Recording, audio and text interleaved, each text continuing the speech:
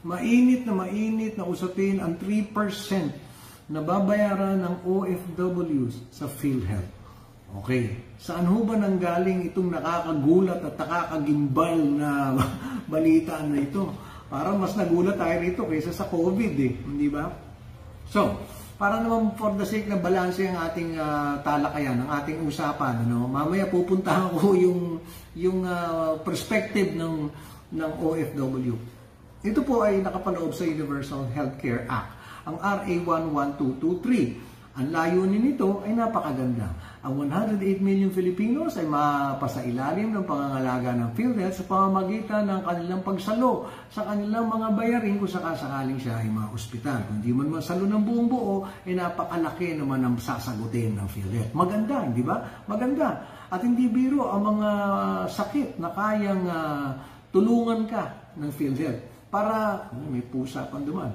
Okay, tingnan nyo ha uh, it, under this uh, Universal Healthcare Act ng PhilHealth, yung inyong pong uh, 3% na yan, eh kayang sagutin ang bypass, 550,000 ang coverage. Yung uh, BS, BSD, o yung ventricular septal defect, yung may butas ng puso, kaya ang coverage hanggang 250,000. Petrol, tetralogy of Fallot, yung merong apat na depektong puso mo, 320,000. Ha? Ang coverage, leukemia 210, prostate 100,000, breast cancer 100,000, kidney kidney transplant 600,000, dialysis 2,400 per uh, uh, session, COVID-19 sa kasakaling tamaan ka 780,000, hanggang sa panganganak na cesarean is 19,000, diarrhea 6,000, uh, at hanggang sa pigsa 3,600. So, hanggang doon po, ang ganda, hindi ba? Ngayon, bakit bakit tayo nag uh, mamarakulyo rito? Ganito po 'yon. Maganda ho ang layunin nitong uh, pangalagaan natin ng ating OFW. Pero ito sa tingin ko ha, sa tingin ko sa perspektibo niyo ito eh. Ang lagi ko pong binabanggit sa pagbubuo ng ating mga programa, direktiba at batas. Kailangan tinitingnan nyo ang sitwasyon mula sa mata ng gusto nyong tulungan.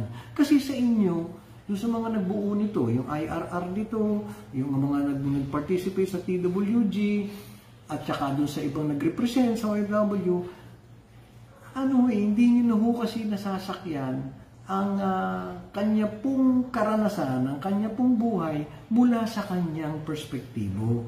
Sa inyo, maganda. Sa papel, maganda ito eh. Tingnan nyo.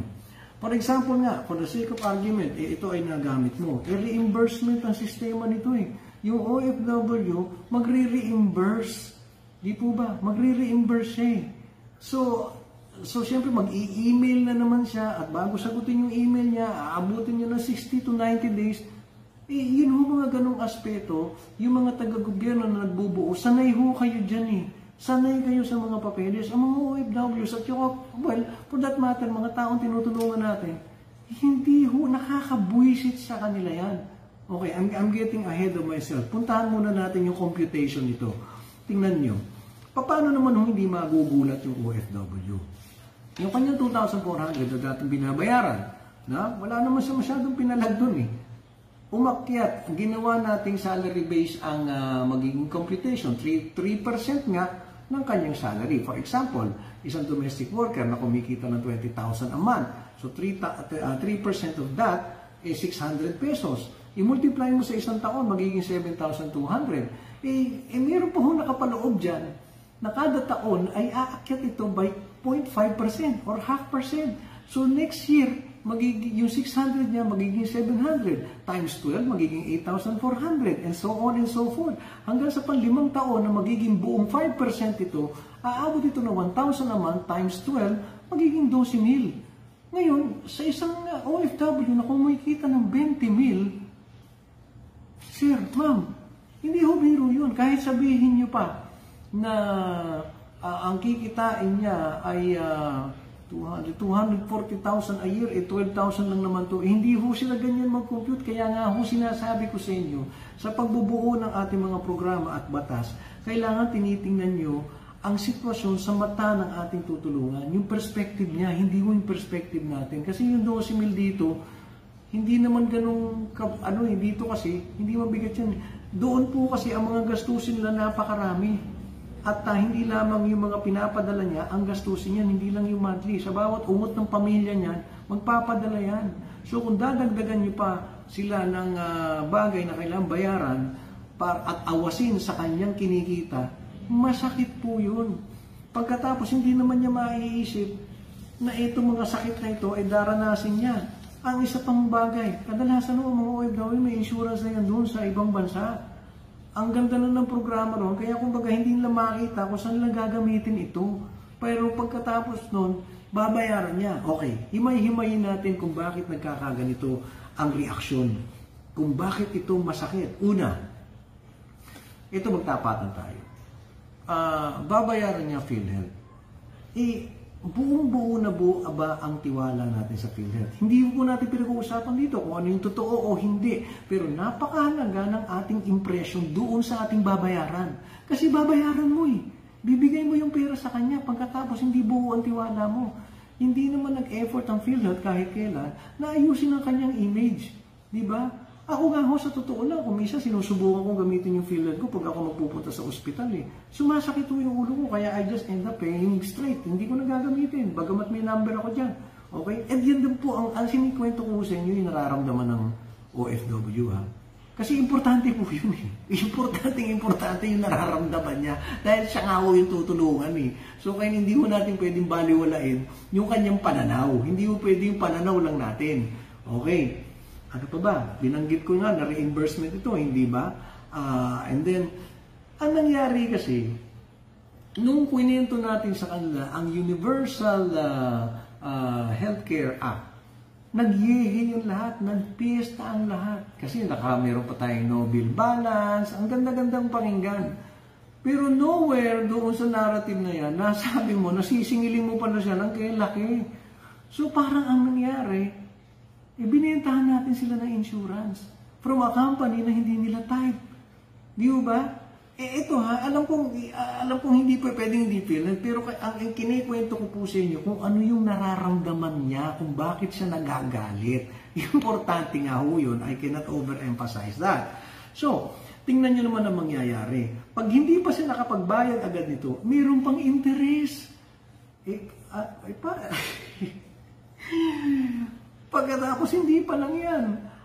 Meron pang ang OAC niya, hindi niya makukuha kapag hindi siya nagbayad nito. Eh, ang OAC niya ho, eh, binibigay yan, parang nga protection niya. Ngayon, ang dating sa kanya, parang hino-hostage siya na hindi mo bibigay yung OAC kapag hindi siya nagbayad. Itong 3% na ito. Di ba parang, parang hinold up natin? Parang nga, hindi ko sinasabing gano'n kasi nga inuulit ko maganda yung layunin eh. Pero yung kung paano natin to kinommunicate sa mga OFW at kung paano natin itong gustong ipatupad, uh, para kasing may factor ito ha, ito yung damdamin ng OFW eh, na para mo siyang inuto, na sinabi mo maganda to, wow, mag, pinag-wow-wow mo siya, yung pala babayaran niya. Di ba? Yun yun eh. Yun ang, yun ang masakit dito. At hindi, at hindi humaliit ang ating sinisingil kahit po sabihin natin na ganitong kalaki ang magiging coverage. Di ba? Kahit na ma-bypass at bibigyan mo ng 550,000, ang nakakalimutan niyo po, okay, maganda ho yung paplano sa kanyang uh, mga ganitong uh, pangyayari. Pero yun pong mismong araw-araw niyang buhay. Natural, kailangan niya rin ng panggastos. Nahihirapan ho siyang mag-juggle ng pera niya pagkatapos dadagdagan pa natin. Now, I, I hope na na-amplify ko yung para doon sa mga OFW. I hope na nasasabi ko ang, ng may accuracy ang inyong mga nararamdaman. Ako ho nakikiusap na sana eh, sa ating mga mambabatas, amyendahan niyo ito. Masakit po ito sa mga OFWs. At ang pamamaraan kung paano natin to ini-implement at kung paano natin to pinaliwanag, malaki po ang pagkukulang natin sa komunikasyon sa kanila. Nagmukha ho bang inasahan natin, iniisahan natin sila kaya sila kaya nagagalit yung OFW. Kung ako nga ho na mahalan eh. Lalo na po sila. Alam nyo, ang pagbabudget nila ng pera, hindi lamang kasi tingin ko ganito nangyari. Nung chinik nyo yung pera na, for example, yung kumikita ng 60,000, maraming kumikita ng 60,000 yan. Eh, malaki ho gastos to eh. Mahal doon. Mahal. Kunyari, Middle East, hindi, hindi ganun kalaking pera yung 60,000. Di ba? Ah, madalas sinasabi niyo, huwag kang bumili kasi ng mga hindi mo kailangan. Sir, ma'am, hindi, hindi ho natin basta masasabi sa kanila yun eh. Ang nakakalimutan niyo pong i-factor in yung pong matinding lungkot pagdating doon. Tapos ang kanyang pagbabudget, hindi lamang naman, hindi lang naman yung buwanan niya talagang nakabudget na panaladala. Ang pamilya niya, bawat ungot niya, nakahingi. Hindi niya matanggihan. Di ba? May nag-birthday, may nagbinyag, may mangungutang, may babayaran, etc., etc., etc., may nagkasakit o bla bla bla. Hindi niya huma-factor in kung saan papasok itong sinisingil natin sa kanila. So, ang rekomendasyon ko ho talaga rito, buong puso ko sinasabi, eh, amendahan natin ito. At yung wag, wag nyo na ho sabihin na yung mga magaganda ang kinikita, eh, gagamitin yung pera para doon sa mas nangangailangan dahil yan ang ah, ah, tawag dito, social aspect nitong ah, ginagawa natin. Hu- Huwag na ho natin silang ganunin kasi sila pa lang ho problemado na eh. Huwag yung siyang pasaluhin ng problema ng ibang tao na hindi niya kilala. Huwag natin silang konsensyahin na yung kanyang kinikita ay binibigay niyo dun sa iba. Hindi, it will not work. It will not work. Ah, ang dami na pong uh, pinoproblema ng OFW. Kung tutulungan natin sila, bigyan natin sila ng tulong na walang nang, na, na walang wala tayong kukunin sa kanila. Amiendahan nyo ito. Ah, baka naman pe, pwede eh, maghanap tayo ng kukuhanan ng budget para sagutin ito.